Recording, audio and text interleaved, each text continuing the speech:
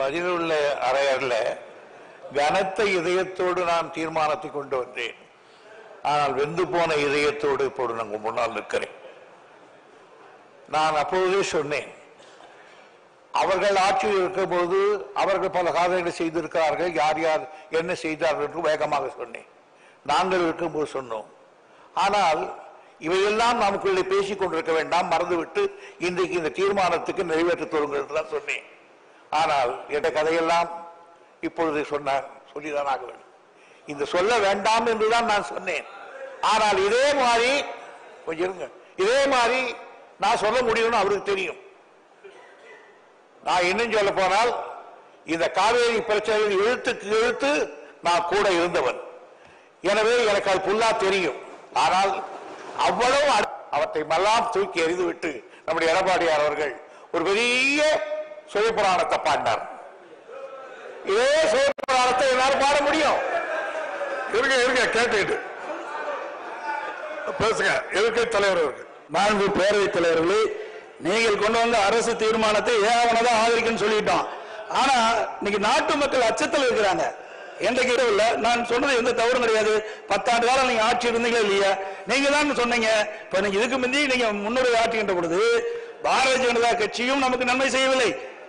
காங்கிரசும் நன்மை செய்யவில்லை. இரண்டு ஆட்சியிலும் பங்கு பெற்றது நீங்கள். உங்களுடைய செல்வாக்கை பயன்படுத்தி இந்த பிரச்சனை தீர்வு கண்டுக்கலாம் அதான் சொன்னேன். ஒன்றுபட்டு ஒரு முடிவுக்கு வாங்க. ஒன்றுபட்டு அவர் என் ஆட்சி எங்களுடைய கட்சியை குறை சொன்னாலும் சரி என்னை சொன்னாலும் சரி என் தலைவரை சொன்னாலும் சரி அல்லது வேறு யாரை சொன்னாலும் சரி நான் இப்பொழுது கவலைப்பட மாட்டேன். எனக்கு இப்பொழுது நான் வாழ் எடுக்க தயாராக இல்லை. என்னுடைய இந்த தீர்மானம் கண்ணியமாக நிறைவேற்றப்பட்டது என்ற செய்திதான் வெளிவர வேண்டும் என்று கருதுகிறேன். அதை திசை திருப்ப வேண்டும் என்று சிறுகிற சில சில்மிஷங்களுக்கு நான் இடம் கொடுக்க மாட்டேன். எனவே இந்த இத- ஆதரித்து பேசிய அனைவருக்கும் என் மனமார்ந்த நன்றியை தெரிவித்துக் கொள்கிறேன். தீர்மானம் மாண்புமிகு முதலமைச்சர் அவர்கள். மாண்புமிகு பேரவைத் தலைவர் அவர்களே நம்முடைய நீர்வளத்துறை அமைச்சர் அவர்கள் மேகதாது சம்பந்தமாக ஒரு தீர்மானத்தை தனி தீர்மானமாக அரசினருடைய தனி தீர்மானமாக கொண்டு வந்து அவரே முன்னுரையாக பல்வேறு வரலாற்றிலே பதிவாகி இருக்கக்கூடிய அந்த செய்திகளை எல்லாம் எடுத்துச் சொல்லி கட்சி பேதமின்றி அரசியல் பேதமின்றி இந்த தீர்மானத்தை ஏகமனதாக நாம் நிறைவேற்றிட வேண்டும் என்ற அடிப்படையில் அடிப்படையிலே ஒரு தீர்மானத்தை அவர் முன்மொழிந்திருக்கிறார்கள். எனவே அந்த தீர்மானத்தை முன்மொழிந்து அதை தொடர்ந்து உரையாற்றி இருக்கக்கூடிய அனைத்து கட்சிகளும் ஓரணியில் நின்று இந்த தீர்மானத்தை நிறைவேற்றி இந்த அரசுக்கு ஆதரவு தந்தமைக்கு நான் முதலில் உங்கள் அத்தனை பேருக்கும் நான் நன்றியை தெரிவித்துக் கொள்ள விரும்புகிறேன்.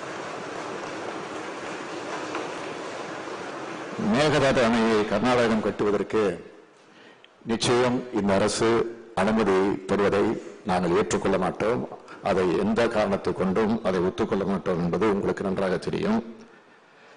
நடுவர் மன்ற தீர்ப்பிற்கும் உச்சநீதிமன்றம் அளித்துள்ள இறுதி தீர்ப்புக்கும் எதிராக கர்நாடக அரசு மேற்கொள்ள துடிக்கக்கூடிய இந்த முயற்சியை தமிழ்நாடு அரசு நிச்சயம் தடுக்கும். அணைக்கு அனுமதி அளிக்கக்கூடாது என ஒன்றிய அரசுக்கு எதிர்ப்பு தெரிவிப்பதிலும் சட்ட ரீதியான நடவடிக்கைகளும் இந்த அரசு நிச்சயமாக எடுக்கும். அதில் எந்தவித பாகுபாடும் நாங்கள் பார்க்க மாட்டோம். அணை கட்டக்கூடிய முயற்சி எல்லா வடிவிலும் இந்த அரசு எதிர்க்கும். தமிழ்நாட்டின் காவிரி உரிமையை தமிழ்நாட்டு உறவுகளின் நலனை இந்த அரசு நிச்சயம் பாதுகாக்கும். தமிழ்நாட்டு உரிமையில் நாம் அனைவரும் ஒன்றுபட்டு நிற்போம். நிச்சயம் வெற்றி பெறுவோம். நன்றி வணக்கம். மாண்புமிகு முன்னவர் அவர்கள் கொண்டு வந்த தீர்மானத்தை அனைத்து கட்சியினரும் வரவேற்று பேசியிருக்கின்றார்கள். குறிப்பாக நடந்ததை பல பேர் பதிவு செய்தாலும் நடப்பதற்கு மாண்புமிகு தமிழக முதல்வருக்கு துணை